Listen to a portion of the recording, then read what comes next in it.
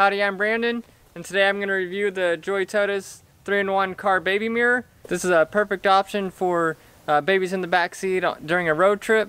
They have the mirror to keep themselves entertained, but also to, can allow uh, parents in the front seats uh, to keep an eye on the baby.